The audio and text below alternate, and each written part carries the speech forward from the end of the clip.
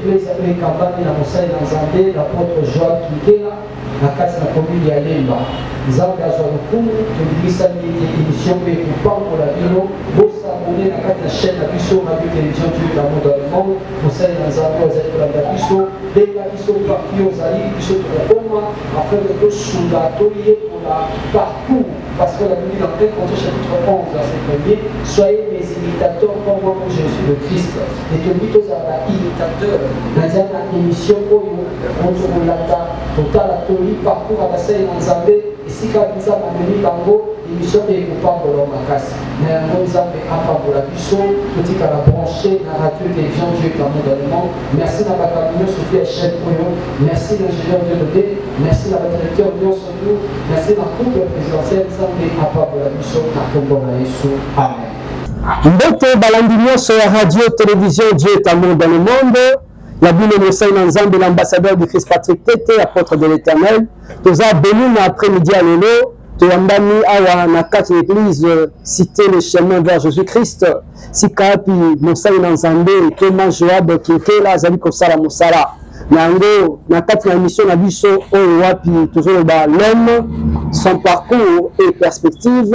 toza vraiment beni na après midi ya lelo Endimisami ete Nzambe akovela biso ya mingi na nzela ya mosali na ye. Na yango, sans plus tarder, to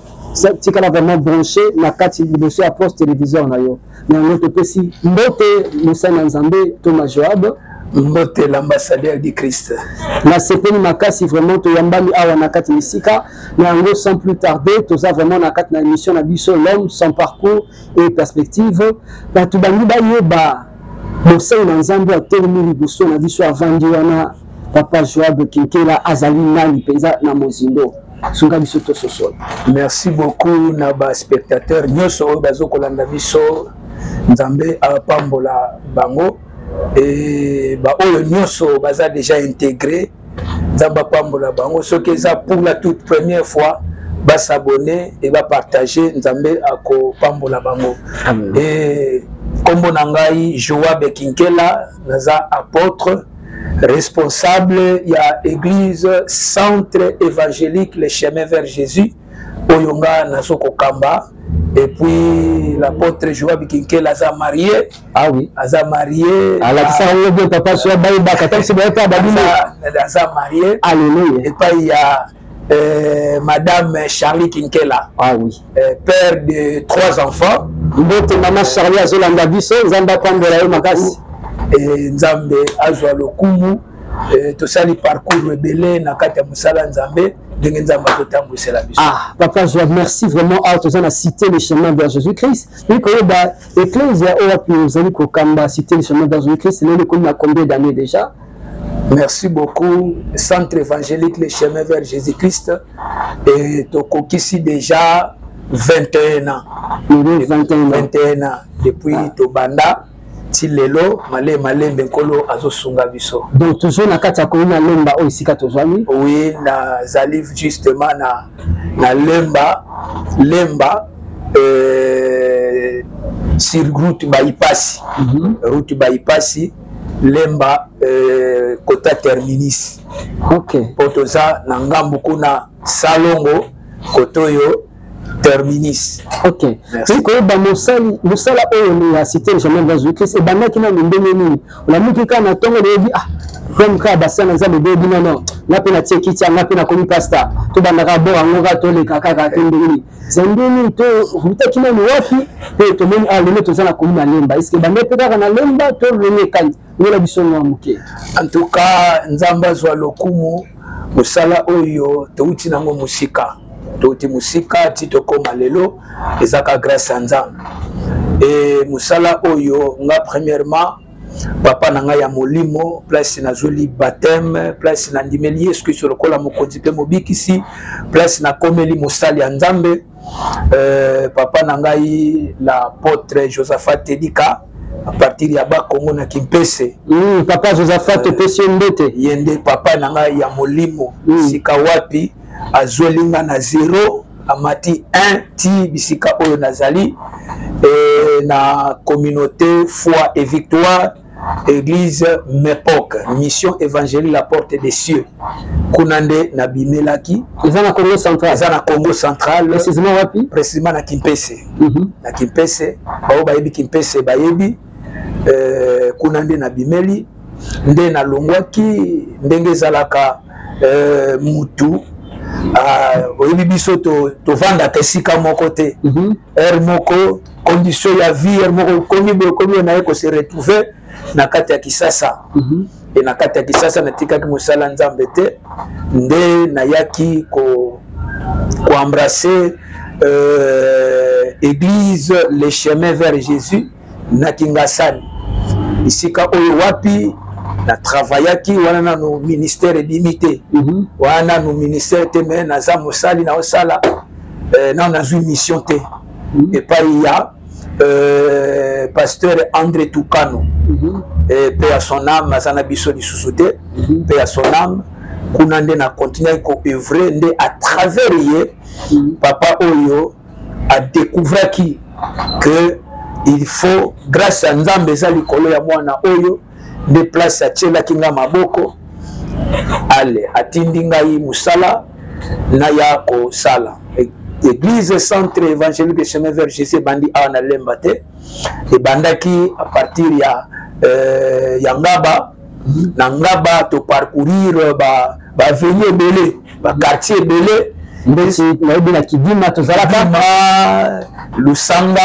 ah. euh, fidame euh,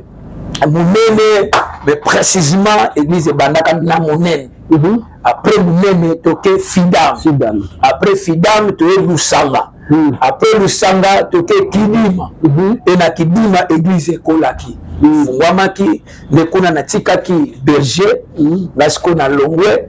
nake na lemba nde place tofongolisaki deuxième extension ya centre évangélique le chemin vers jésus nde kuna toévolue toévolue ekomi deux églises nde tolongo na lemba super nde toyaki kotoyo na lemba terminus nde bisika tozoko evre e ya ngaba ezali awa mpe ezali voilà un peu parcours en tout cas nzambe azwa lokumba ndeko balandi toyebiyeni ndenge nini nzambe alongoli mosali na nzambe mosika na congo central na kimpese ah, mbote na bato nyonso ta kimpese basolanda biso ah, vraiment alongoli ye kuna ayei na ye na kinshasa avandi na makolo ya mosali na nzambe aprepare ye mpe lelo oyo azali kokoma na kati ya eglise cité de chama ba rue donc na kingasani mpe ezali kocontinue kuna ezali kocontinue na précisement wapi na kingasani précisement ezali na na route euh, mokali mm -hmm. na avenue banana mm -hmm. monastis okay. kuna eh, place oyo wapi eh, pasteur die tukano mm -hmm. kuna nde azokoevre eh, nzambe azwa lokumu en tout cas nzambe azwa lokumu Na yango bandeko balandi, tolingi koyeba lisusu, tomoni papa Joabe vraiment un entrepreneur kende bozonga boye tozomona mpe chaîne télévision jm télévision oyo eza ezosala rage na youtube tomoni finalement toyi toyeba nani mpe quelque part tomoni lisusu na kati ya bafiche ye moko ozosala conception ya bafiche eza biso likabo oyo ebandaki nini oyekolaki yango to ndenge nini puiske lelo tokuti yo na kati na média mpenza ozosala mosala toza na kati na bureau nao awa tozomona bacamere epai tozomona kote oyo donc vraiment sophistique likanisi wana eutaki wapi na mosala nzala merci beaucoup euh, nzambe apesaka adotaka motu na badon batalant bacharisme ngai personnellement nzambe apesanga likabo moko une fois natala motu une fois natala eloko wana mm. après quelques jours il faut nasala yango voilà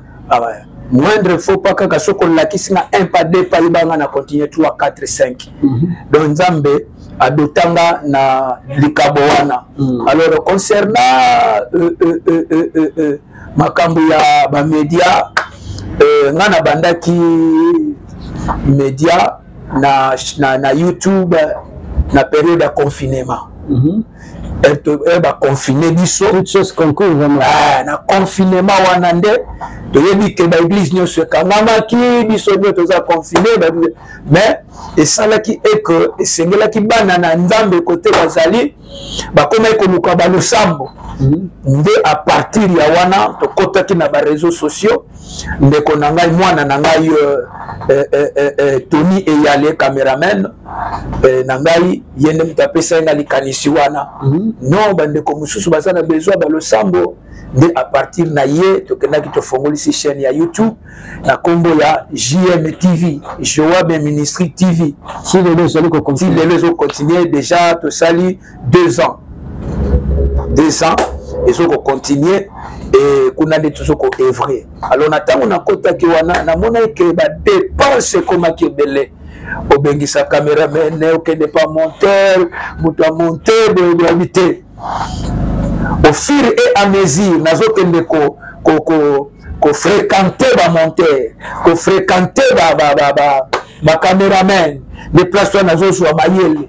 nazozwa mayele me namiyebelaka kosala eh, bafiche mm -hmm. bafiche namiyebelaka nde monteur moko ayebisi nga te ndenge oza lokola oyebi deja kosala bafiche mpo na komonte eza nango facile na bino nakosala nini kaka ndenge omontela osalaka bafiche ndenge mpe kaka osala kende boye songa ora kendisi na kebela eza nini nga moko mpe na meliore ti lelo nzambe asunga biso tokoma mpe komonte mwa moke mm. mwa baimage mpe tokoma malgré nanu tokomi bisika tokeye te mais mwa ab déjà ndambo ndambo ah, biso ya bwana nzambe azwa lokumu bandeko moko oza na mosala moko mpe mosusu olingaka mingi osalaka papa atalisi biso awa na volonté okoki kosala makambo nyonso biso toyebeli ye azomonte bazosala biso baaffiche mo tout ça na baeglise asali mwa boye mais lelo abakisi lisusu au-dessus de votre foi ajoute la connaissance akomi mpe komonte akomi mpe kosala baémission alors koyekola esilaka te kotanga to biblia epekisi yo tokanga maboko bokoki kosala mpe eloko moko ekosunga yo lobilobi mpe ozala motuya mpo na tia na bato nakokoli nabosani likambo moko na ntango namonaki ndenge wana nde nakendaki na centre de formation ya informatique oh là là nde nakendaki nayekoli sikoyo informatique mm -hmm. informatique biro ya bureautique mm -hmm. nde apartir ya place wana mayele lisusu efungwamaki mpe tokobi na yango ti lelo ah. kosenga na bandeko na vie parcours ya vie mm -hmm. kokangaka maboko te ya solo eloko nyonso ese presente liboso na yo soki mhm. nzambe apermettre yo omona eloko mhm. yebaka na kati eloko wana eza na langage ya nzambe voilà donc sala de voies et moyen okoka kosaisir opportunité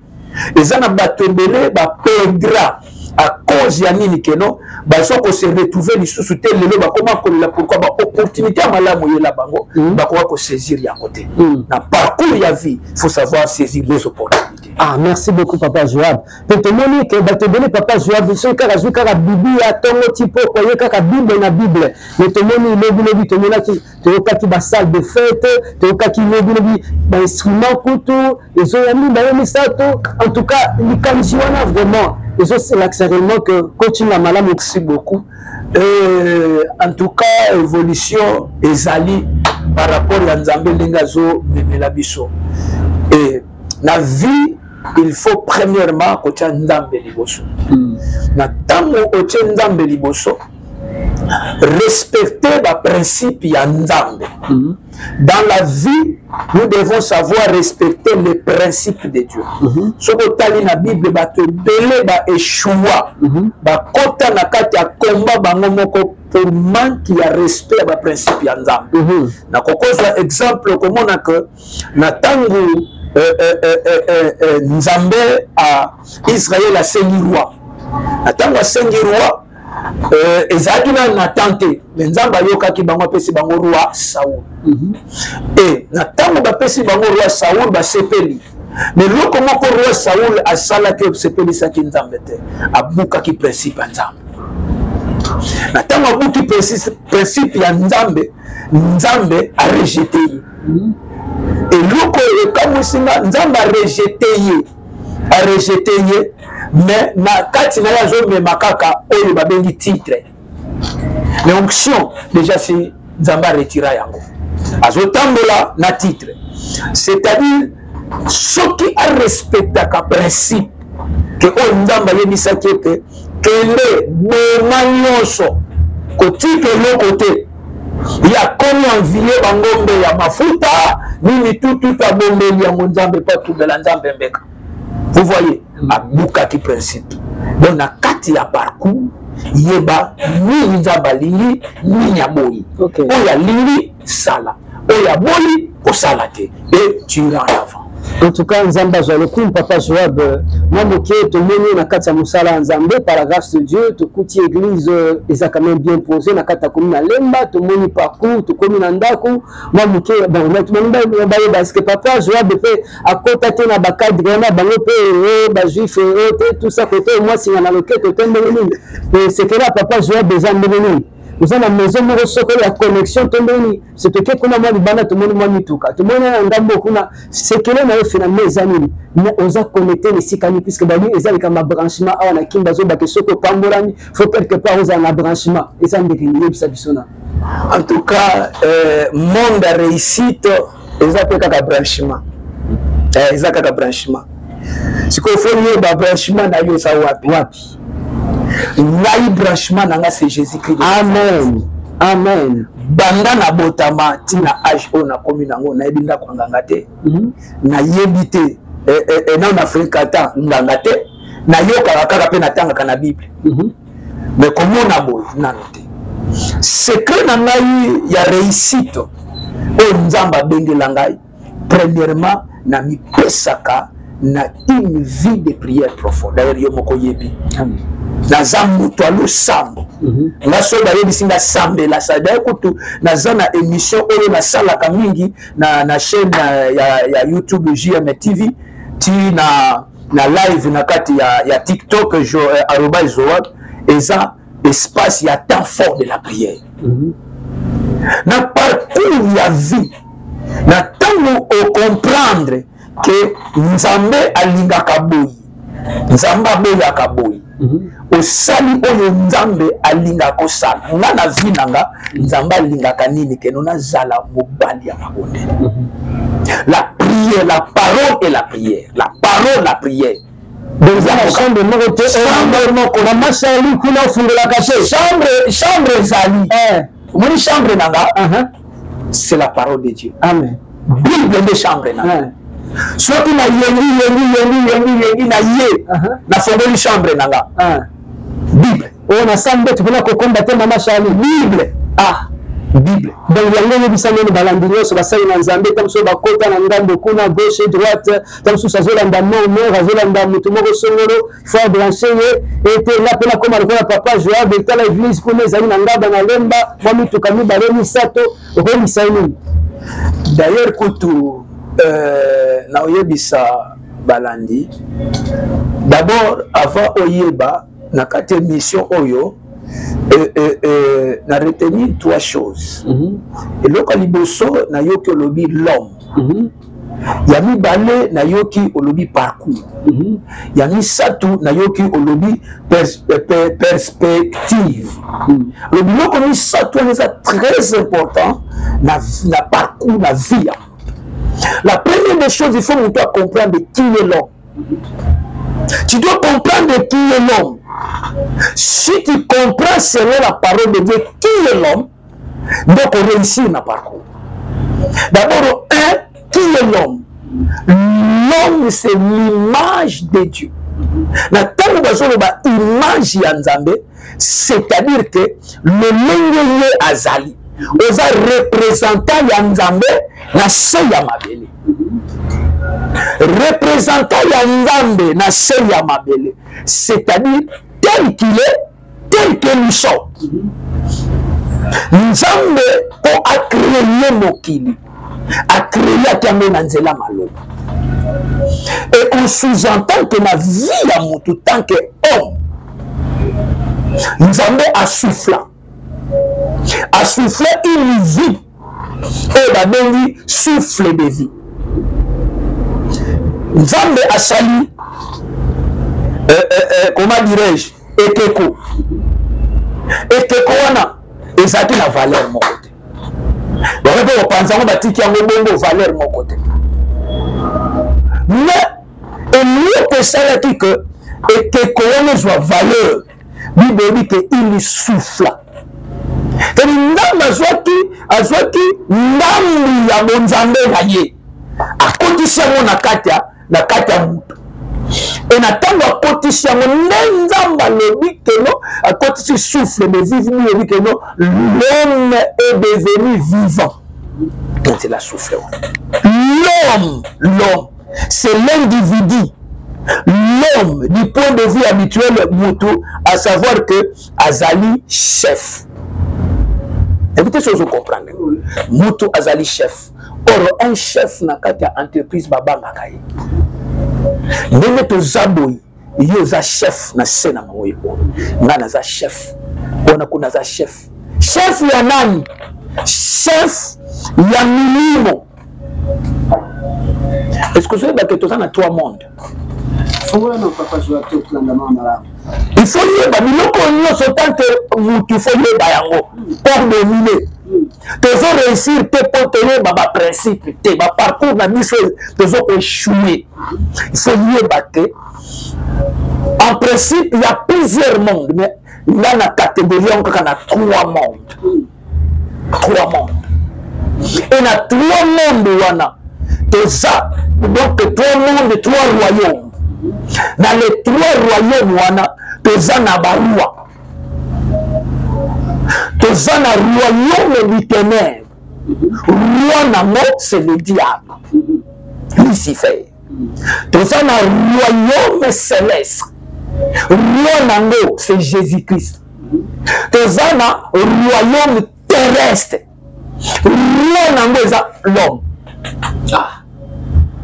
donc moto mpe aza na bokonzi voilà oyebi pourkui babengaka yesu le roi de roi mhm. pourkui babengaka yesu le roi de roi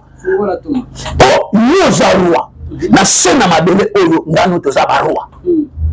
na monde ya ténèbre diable satan lucifer aza roi na monde na ye siko jésus christ aza le roi de la terre et le roi du ténèbre le roi des rois vous voyez sikoyo parcours ya jésus na parcours ya jésus il faut arencontrer obstacle moko après 40 jours et 40 nuits na mission sikoyo na ntango akutani na obstacle wana nde satan akoya kose présente pandaki akoya kose présente bible elobi nini roi na roi bakutani siko oyo il faut atalisa rene na ye oyo mpe fo atalisa rene na ye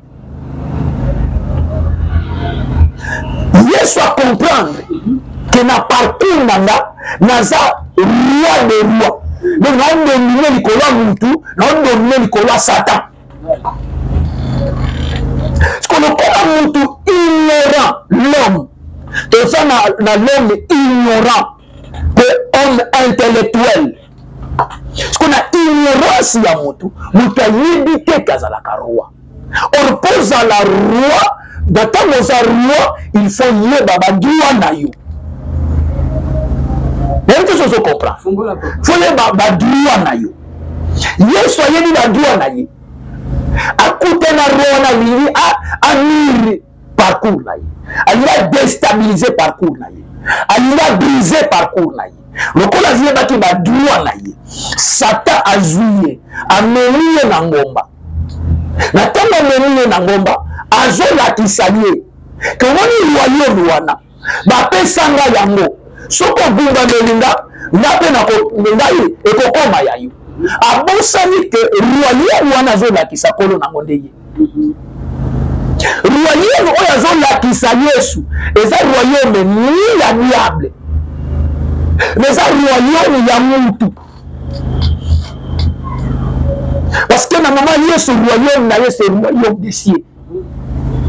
alors papa joab vraiment nalandi yo mpenza na bokebi nyonso ya trois royaume royaume ya satana oyo wapi satana azokamba na mokili na mabele nzambe apesi moto hmm. mpe kuna royaume celeste eza yesu masiya kasi eloko nini ezosala mpenza epai na bato ndenge okaboli biso trois sorte ya royaume royaume oyo satana azokamba mpe awa na mabele nzambe apesi moto bokonzi mpe kuna celeste nzambe apesi yesu masiya me kasi moto azoyeba te ke nzambe apesi ye bokonzi kati na nkolo yesu masiya sika akimela epa moto apesi ye bokonzi bato bazokimela nde epa na bato ya mokili oyo mpona baluka mwa basinganokete nga mpe naluka ndenge papa joab ateyaka nga mpe nakende kote kuna mayebi te mpasi papa joab abombama na yango vraiment eza mpenza makambo oyo esengeli tososola mpenza malamu koleka mpe tosunga basali na nzambe bacomprendre makambo malamu koleka lobela lola nano mpona kosukisa place wana trois royaume alors chaque motu fo ayeba badroit na ye mhm. yesu ayebi badroit na ye mhm. ke naza na mission mhm. na ntango akomi epai ya yebe sata proche ye ayebi droit na ye alakisi ye yabi te alozwi libanga bongo nalobi te l'homme ne vivra pas de pain seulement première eloko namoni na kati epai ya yesu c'est la résistance bilobi résister au diable et il fouillera loin de vous ayebi pouvoir na sikoyo l'homme ndenge satan akendaki kotante yesu ndenge mpe azwi ya kotante moto moto azokomprendre pouvoir na ye te azokomprendre badouane te or bible ebimili te na lik 10 19 je vous ai donné le pouvoir de marcher sur les serpents sur les scorpions sur tout est possible de lui et rien ne pourra voler or atango nzambe azodote motu na pouvoir motu azozwa pouvoir azozwa azokoma chef e chef na ye ezokozala ezozala combine na deux forces toza na oyo babengi combinaison ya la puissance maritale cestadire toza na de toza kote oyo kote oyo toza na botata kote oyo toza na bomama vous voyez pouvoir wana oyo azopesa na ntango apesi yo eloko nyonso oyo eza na se na moi oyo eza na se ya bokonzi na yo soki tozongi na jeunesse nkolo ayebisi motu ke natie yo na elanga ya liboso odomine le domination topedra satan bapesa ye domination te bapesa ye pouvoir te me biso bapesa biso pouvoir pouvoir wana na ye satan me soki ozokamwisa ngai ke yo otika pouvoir oyo bapesi yo oyo eza pouvoir moko éternel ekotikalaka kosila te okende kokota na pouvoir mosusu yango wana lelo bato bazobebisa baparcours na bango a cause ya nini bazoyeba badroit na bango te ah, ah, ah, likambo oyo bato bazobebisa baparcours na bango parce que bakei bazoyeba te identité na bango identité droit pouvoir eh, autorité akende kuna na mokili aokanisa nde kuna nde makambo kunazwi mwa motuka azwi mwa lopango azwi mwa boye tusanga mpe nakoma lokola ye alandi kote kuna nzoka nde pouvoir limité me oyo alobi oyo ya kibonzambe nde eza illimité illimité hmm. illimité na ntango azotya adam na jardin dede azoyebisa ete keno na jardin ezwa ndambo ayebisi te ete ezwa ndambo abi na tio na jardin domine sur le poisson de la mer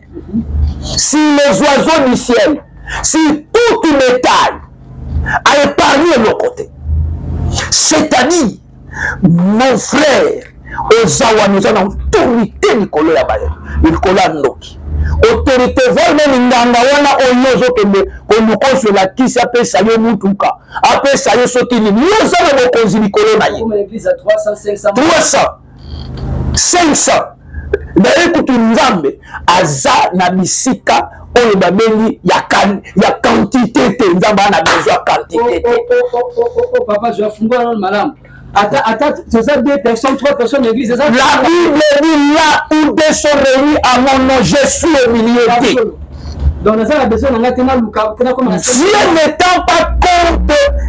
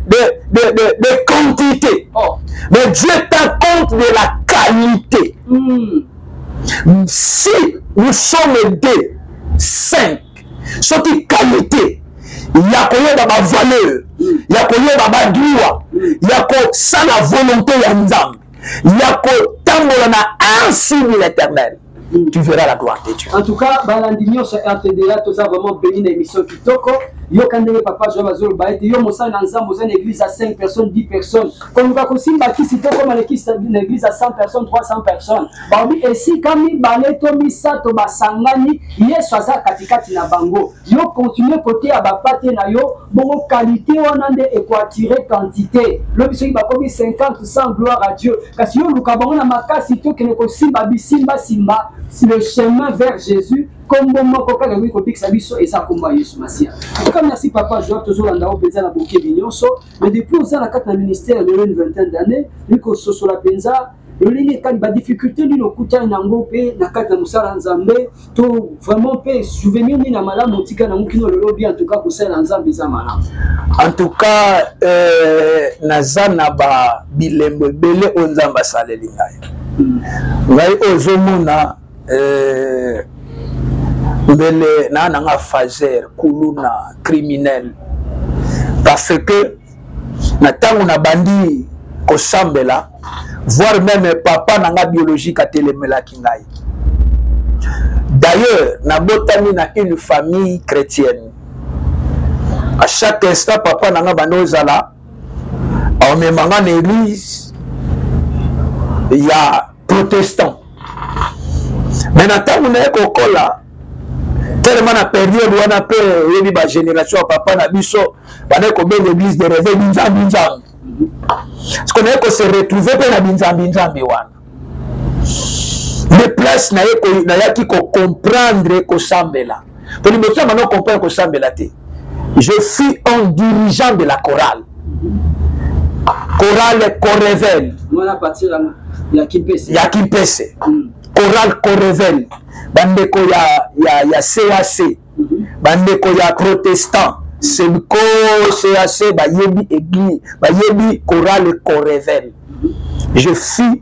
chanteur nabandaki koyemba tenor nga so natelemi nazoyemba bachef de poule mais lelo nayebi te kenda na gloire à dieu nayebaka te ke un jour nga mpe nakoma oyo nga nakomi lelo donc lelo bayembi soki lelo nzambe abengi yo lobi oyokoma mpe mosali na nzambe eza likambo eza likambo ya temps nzambe abi ndenge asala makambo na ye parce que lelo bayembi ebele papa joab mosusu azalaki ne kaka frère lobi lobi nga mpe nakomi pasteur azalaki na ye frère lobi ah, nga mpe nakomi boye soki nzambe atindiki yo bongo gloire a dieu lokola papa joab azalaki moyembi na nkolo lelo aza mosali na nzambe toma mais soki finalement mpe nzambe abengi yo kaka na kati na miziki kaka ndenge yembi nango tikala kaka na esika wana nzambe ayebi azobongisa mpo na yo voilà eh, na ntango naye kokɔta na reveil nde place wana makambo ebandaki guerre mm. entre nga na papa oyo aboti nga propre mm. oyo bapapa biso balinga bafrançais mingi mm. papa papa jour moko nayoki nayoki sikoyo elengi ya kosambela na comprendre kosambela nazwi bateme papa pa intercession ekoko protocole na intercession alors bapapa na biso bazali na baéducation moko eza te éducation ya lelo biso tozwa éducation pa baparent 17 heures okoki ozala libanda te oza kaka na outi classe no discipline basiko nasiye kose retrouve pa ya papa ezala ete 17 heures oza na ndako 18 heures na ndako 19 heures tutut eye koconsidere ke intercession ebandi lokola papa wana elinga kuna te nga na te interesse interesse soki ewumeli toparle balangue tosali boyeboye toyekwa tempe ti 20 heure sikoyo naye kosutuka molimo sikoyo ekei naye kosutuka te biliaki nga mikoki ah. nazongi na ndako kokoma kuna ndako si bakangi hmm. nakokota te nazonga kota uti papa bima apapolanga mbata zonga kote uta bengani ngai nabokeli mbunda na libanda wana na croyake papa ofa afongoleli ngai te papa yebisa ye zonga kote uta nakanisi nauti wapi nautaki hoteli te nautaki bari te nautaki soki wapi te me nautaki na église na intercession nga mpe nazongi kaka na église na na intercession nde place wana parcours na ngai ebandaki ya ya mosala nzambe en tout cas baboti oyo bazali kolanda biso oza na mwana moko aza na likabo ya kosalela nzambe yeba ndenge ya kosunga ye ya kooriente ye souvent bapapa biologique esika baencourage bana na bango bazokota na kosalela nzambe me biso moko tokomaka de fois baennemi lokola saul na david saul abundisi david makasi koleka ayebaki ke ye nde akoremplace na esika wana Lingami et David, ceux qui azalaki mwana mosusu akoki koloba bon nazwi occasion koboma Saul tika naboma ye kaka nakati ya kaka elamba na ye nakati kaka elamba bi te nakoki kosimba mopakolami na Nzambe te alors yo tata sunga mwana esika azali aza na likambo ya koyemba aza na likambo ya koteya banda koencadre ye banda kopesa ye toli mpo ete lobilobi mpe ye boperde likambo wana te papa yanola biso na likambo ya badifficulté nini okutani yango kino sikoyo mpe ba point positif ebele nakutanaki nango naye ko se retrouve libanda naye ko se retrouve euh, physiquement boye bato bazomona nazalaka na papa nazalaka na mama mais euh, naye ko se retrouve dans les abandonné abandonné e natikaki nzela ya nzambe te ah, malgré tout mais po nalandaki maloba ya papa ti zonga kote osaki nini amekoma ah, nga nawutaki wapi ah, kasi nazongi wapi nkolo ayambi nga komi kotambwisa ngai mm. papapapapapa baparcours nde nayaki euh, euh, euh, ko se retrouver na maboko ya papa André Tukano na wana na kelasi mpe ekatani na kelasi eh, kelasi makambo wana nyonso eye wana si nasilisi ah. eh, classe nazwi diplome mais mpe diplome yango mpo nazwa yango ezali kaka bankokoso wana hmm. nateka bacigarette periode wana toyebi nzambe nanu bien te omoni mapa oyo ezalaka mapa eh, mapa ya boule mm. Euh, voilà surtout maki ozwi maki maki sikoyo divise yango en quatre parti nazalaka technicien kote kuna hmm. eh, nazwi maki pa liki moko nakaboli yango na quatre parti natie na kati ya lipa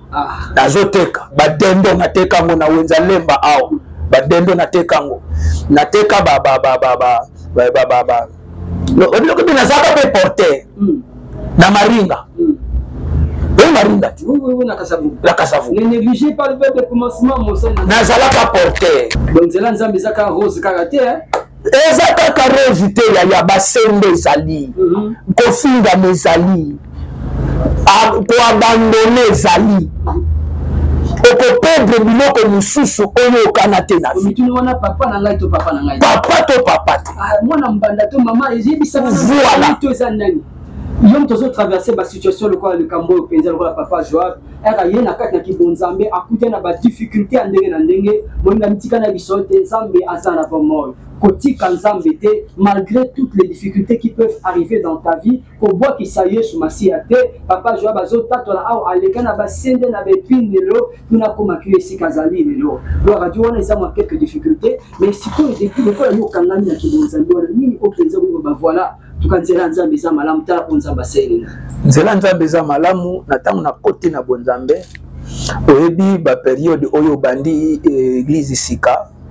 ozolata euh, sapatu ya tai na yo te mhm. alors makolo egumba misapi egumbami boye ah. oyo nyonso sikoyo ezokizoki na kati demarche sikoyo mpe nde mais ozoteya elamba ozoteyela ya yo te ah. pantalo ozoteyela ya yo te ceinture ya yo te hmm. olati kaka eh, oke oteyi onction ezongi elongeli ezongi ozongisi bilamba ya bato hmm. eh, kobanda eglise eh, vraiment defo bidefa defa basak me nazolala libanda wana hmm. secret na ngai ezali kaka moko jeune prière parole twa biloko kaka hmm. esili nazongeli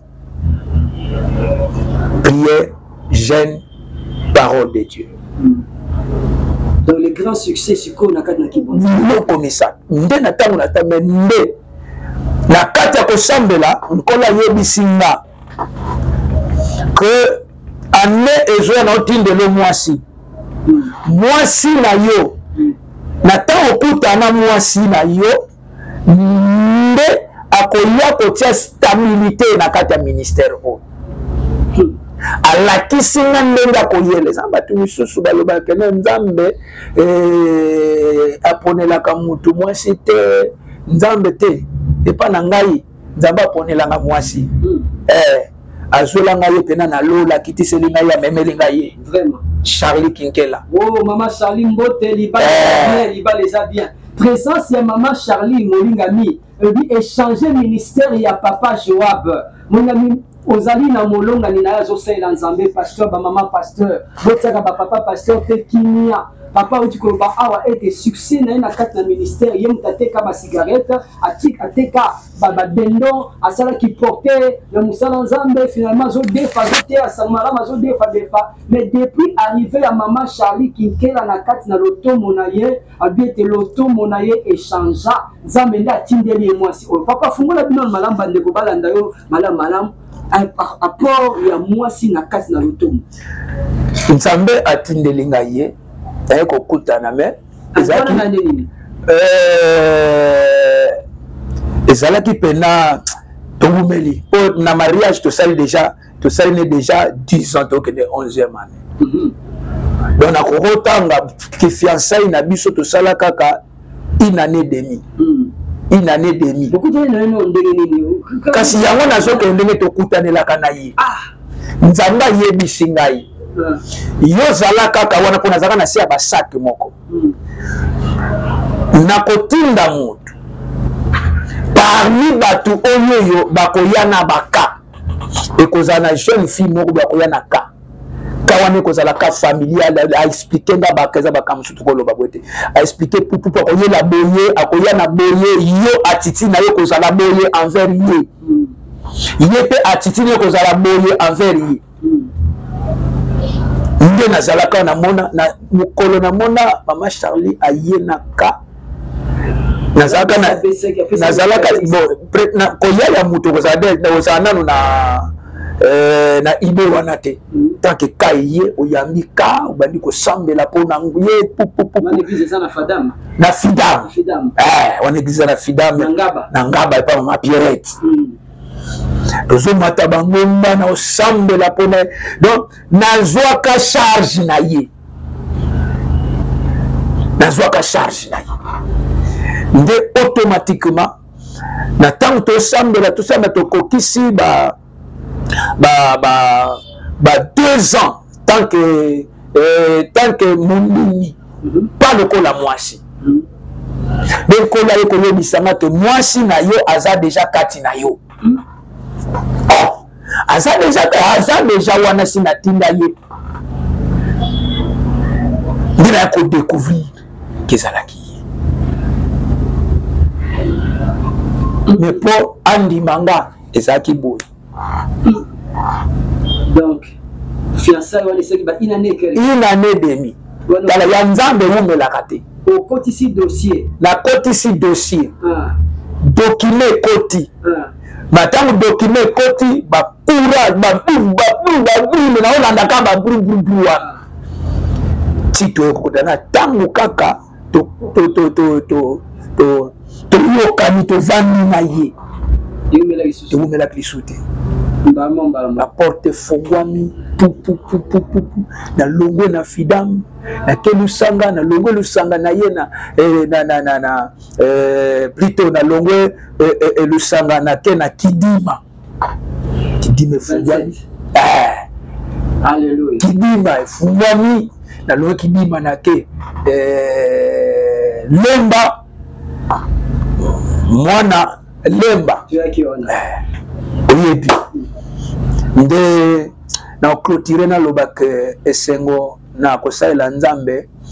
nazalaka na ndako te nzambe apesanga ndako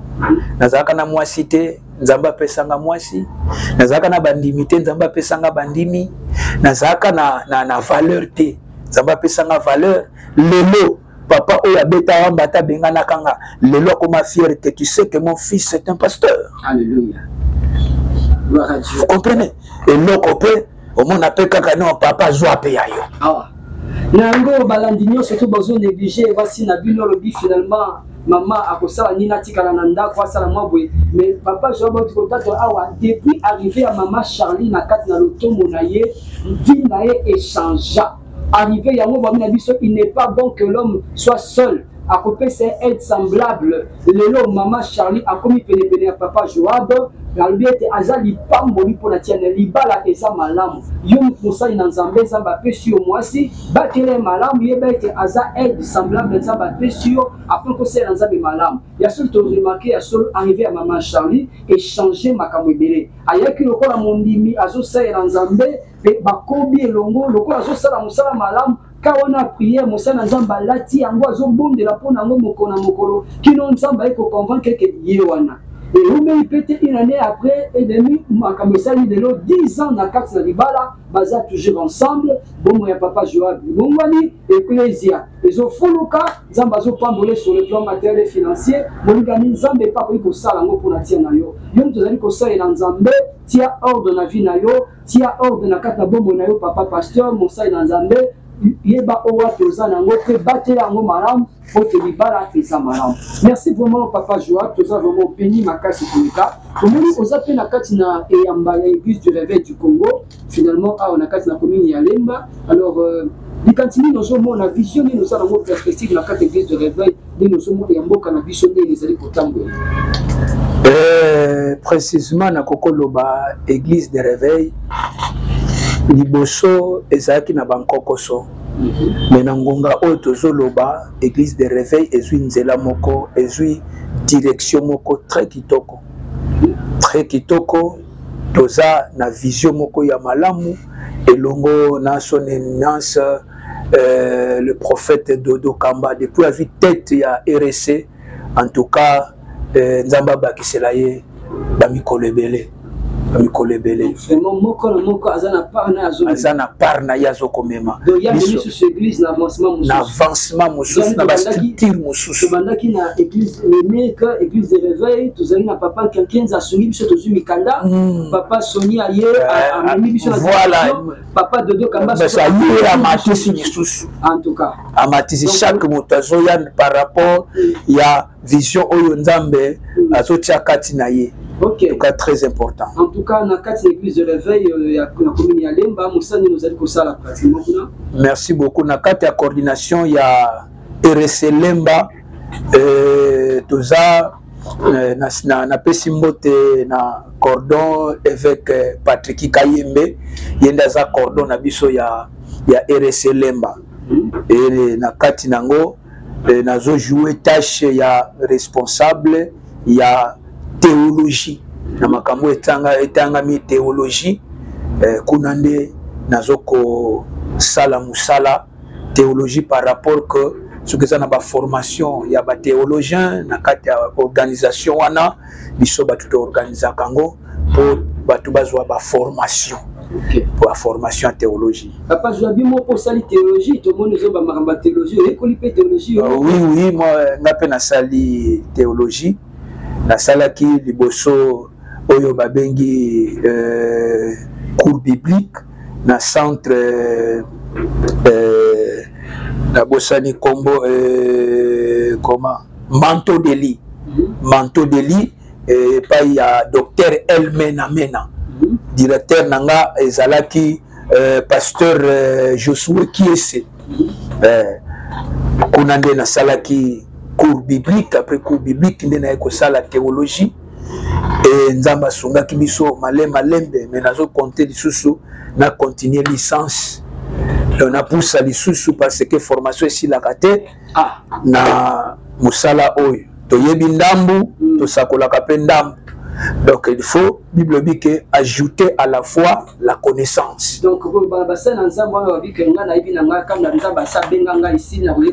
non non non non non, il faut il faut étudier toza na milieu moko ya bato oyo oyo eh, yokanisaka keno bato wana okamba bayebi eloko te te bayebi eloko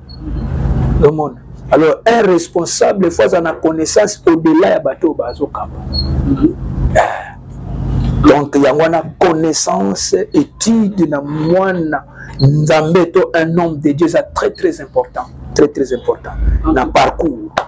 yango tomoni profondeur so omemi papa joa bakofungolela awa makambo ebele abi ete akofungola eh, baenseignement abalusi kote bokoke kote enseignement tozali kote ya prédication amatisi bino donc eza lipamboli makasi voilà en tout cas bandeko balandi vraiment tozokoba lentre esimo na suka ya émission nazali vraiment ah, mosali na nzambe monene azali kokoba kosalela nzambe na kati na komi oyo ya lemba abandaki na ngaba mpe lelo azala kati na lemba e tozomona parcours na ye ndenge nini atamboli ndenge nini awuti na kimpese na congo central aye awa na kinshasa na sa makolo ya papa basali na nzambe papa andré mpe lelo azali ye moko kokamba na yango e atalisi biso mpe ke libala eza malamu apartir ya libala nzambe amemeli ye lipamboli ebele apartir ya libala baporte efungwami lelo eglise ezali lelo mituka salela lelo nzambe apamboli ye eza mabe te soki nzambe apamboli ye financièrement techniquement mpo na biso doit me glorifier pour ce que je suis dans le seigneur e lelo nzambe asungi ye mpe lokola akende koyekola mwa media asala mwa boye nyonso wana eza bandakisa na kati émission oyo tolukaka toyokaka parcours ya basali na nzambe mpo na édifie mpe biso basali na nzambe totikali tokoba mpe na kolanda parce que paul abi soye mes imitateurs comme moi même je le suis de christ tozala banzengeleke na nga oyo malamu tozwaka nde toyei kozwa na mokolo lelo nzambe azwa lokumu yango vraiment merci beaucoup papa joab tomoni mpenza mingi ya kopuise kati na yo ezali vraiment tokozonga mpenza ya mbala nsima to ya kozwa mpenza susu ebele parce que tozosentir que source eza nani vraiment ebele nango mot de la fin mpo na bana nyonso bazolanda yo basali na nzambe mpe bana nzambe na oyo etali vraiment façon ya bango ya kosalela nzambe encouragement nini okoki kopesa epai na bango to nini okoki kopesa mpenza na babana nyonso il faut eloko na kosenga na bana na nzambe parcours moko te ya mutu ezalaka na bopete mutu nyonso aza na parcours na ye parcours ya vie na ye mais loko esengeli a retenir ba retenir eza nini que l'homme aza doté na pouvoir moko céleste oyo ekozala jamais enlevé donc oza na pouvoir moko oyo nzambe adota yo moto ya mokili akotikala ya kolongola yango te na ntango comprendre yango va en avant nzambe afortifie bandeko nyonso oyo oyo eh, balandi biso partout dans le monde eh, baoyo nyonso bamoni ke eh, baza na badifficulté baza na kati ya tatonement instabilité na osenga na bango kaka basalela biloko oyo misato prière parole jeune ah mosusu te kaka misato wana yango nasengi bango koma un homme de prière mhm. koma moto oyo eh, eh, eh, oza moto na kati ya maloba nzambe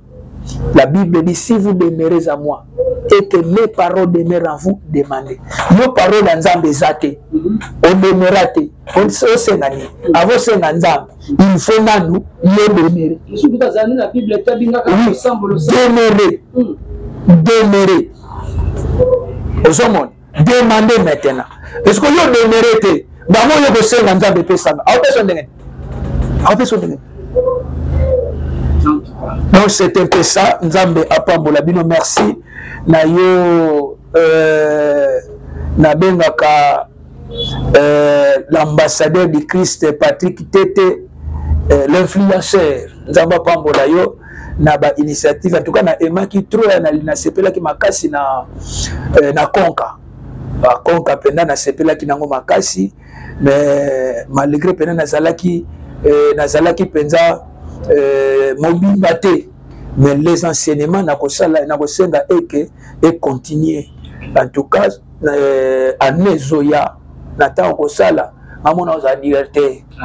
ngamona ozala directe mpo na rate te moni soki nazwi charge moko na bano zala na présent ozomona eh, na bano zala na temps alo biloko mosusu oyo narataki na korate yango tatuka nzambe apambola konka nzambe apambola cameraman eh, eh, papa na biso dieu donné dieu donné tala nkombo dieu donné nzambe apesi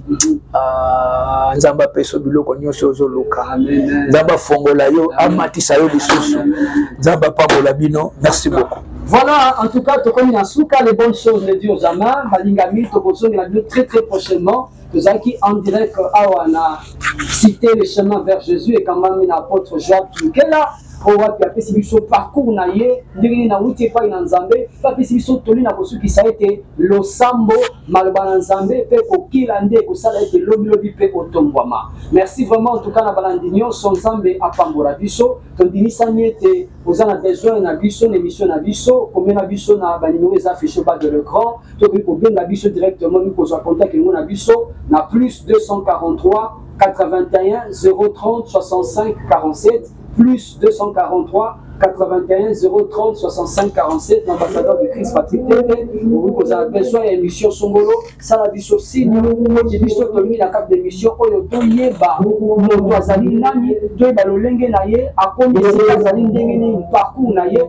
afin ke bamosusu mpe baimite nzela wana bazwa oyo ya malamu mpe bakweya te na mbeba lokola bamosusu bakweyaki yango tokozala toujours wana mpo na bino merci na ingénieur dieu donne merci na bakambi nyonso tu ya chaîne bazali kolanda biso saela que dieu vous bénisse abondamment tokutana très très prochainement na kombo na yesu tobondeli bongo tobi amen